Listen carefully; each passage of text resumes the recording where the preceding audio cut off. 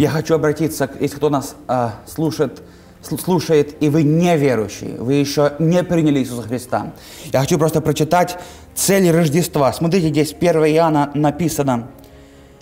«Пришел к своим, и свои его не приняли, а тем, которые приняли его, верующим во имя его, дал власть быть чадами Божьими».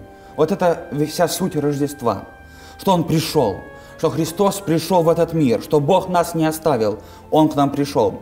И в это Рождество, если вы не верующий человек, если вы еще не покаялись во грехах, не приняли Иисуса Христа, то я прошу, чтобы и вас приглашаю принять Иисуса Христа, чтобы быть, иметь свое Рождество, новое Рождество, воз- ваше возрождение, возрождение свыше, ваше спасение, принять Господа Иисуса Христа. И если вы верующий, и у вас есть еще не спасенные родственники, или не спасенные соседи, или не спасенные знакомые, то будем давать усиленно молиться, чтобы в этом 20 году, где мы увидели, как кратковременен человек на земле, чтобы люди задумались и все-таки приняли Иисуса Христа как Спасителя.